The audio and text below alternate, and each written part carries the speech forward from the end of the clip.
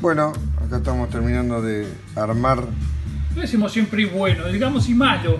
Y malo, claro, siempre decimos bueno o Bueno. hola amigos, ¿no? Siempre son las mismas introducciones.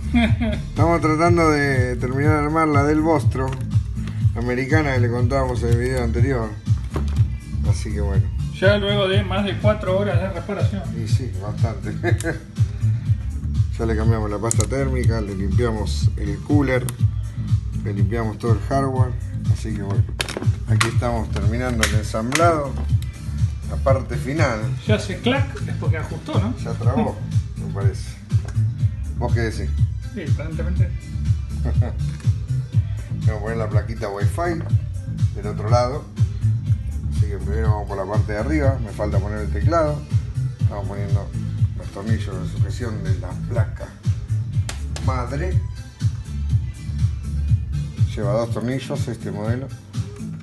¿Por qué no dirán placa padre? Solo placa madre. ¿eh? Dos madres. Bueno, ponemos el teclado.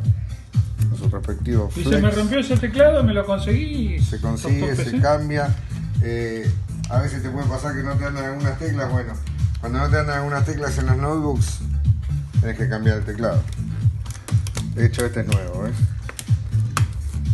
Así que Bueno, la prueba de fuego, ¿no? vamos a la parte de atrás. Tenemos que poner la plaquita Wi-Fi.